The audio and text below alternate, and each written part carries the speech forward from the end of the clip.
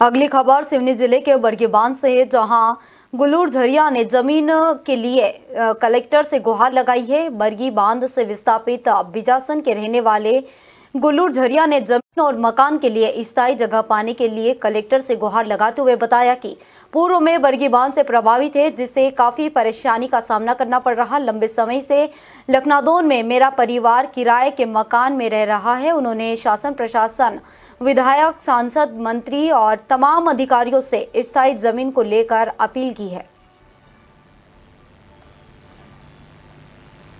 हमारा 1990 में बरगी बाँध का प्रथम और पूर्ण जला, जल स्तर भर जाने से हम लोग विस्थापित हो गए हैं।